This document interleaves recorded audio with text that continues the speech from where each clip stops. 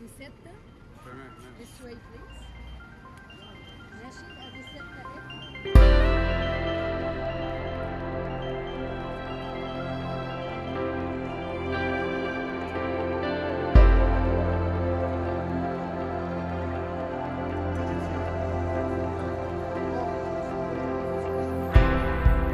La nascita è la nascita più importante dell'Egitto, del lago di Tana, esatto, chiamato Nilo Azzurro.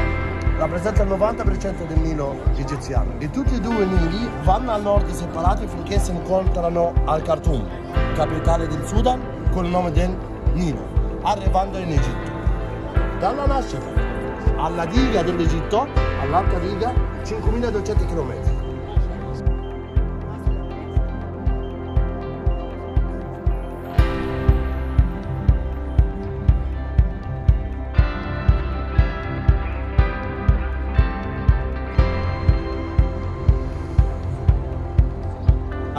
Alla profondità dell'acqua 111 metri, per questo è una forma triangolare.